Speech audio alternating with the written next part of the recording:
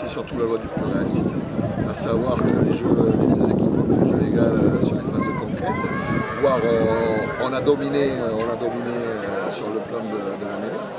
Mais le souci, ça a été que est toujours pareil, on ne marque pas sur nos temps forts.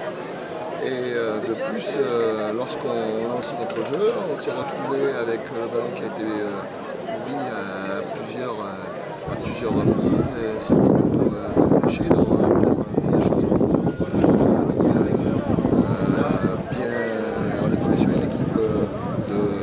qui était euh, bien organisé et surtout euh, bien, bien organisé dans, dans, les petites tomates entre guillemets, les petites tricheries qui permettent de ralentir le, jeu ou d'empêcher de, des phases le vol.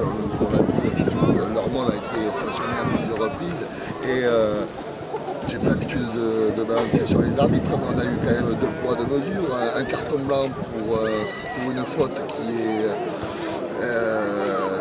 une main sur un ballon, euh, carton blanc chez nous. On a le, même exemple euh, en fin de première mi-temps où on doit marquer, euh, c'est simplement une pénalité.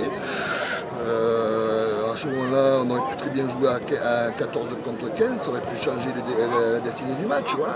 Là où il faut féliciter Bourges, c'est que ben, sur les ballons qu'ils ont eus, ils ont exploité nos, fautes pour le mieux, puisqu'ils ont marqué. Il faut voir que cet essai, ben, on est en possession du ballon et on se retrouve subitement à le perdre et à se prendre une contre-attaque.